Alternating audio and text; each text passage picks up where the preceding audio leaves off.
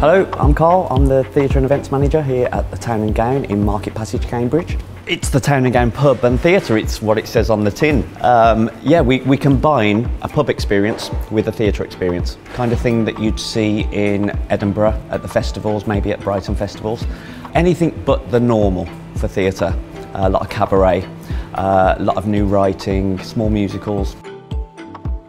We are proper British pub food, done well you get all the standards, uh, burgers, fish and chips, pies, and then we do a series of small plates which have kind of uh, a tapas take on on British pub food. We do a pre-theatre dining menu, which is two courses before you see a show, so we package things together for people. A cheese board while they're having a nice bottle of wine. We can, we can do that as well. So a, a bit of everything, but we are a British pub and pub food is what we do. Now that we're a theatre, we're keeping in with the arts history of the building but moving it forward in a new exciting way. If you knew the building before, it's really nice to come in and see what we've done with it, but if you haven't been before, um, book the whole package.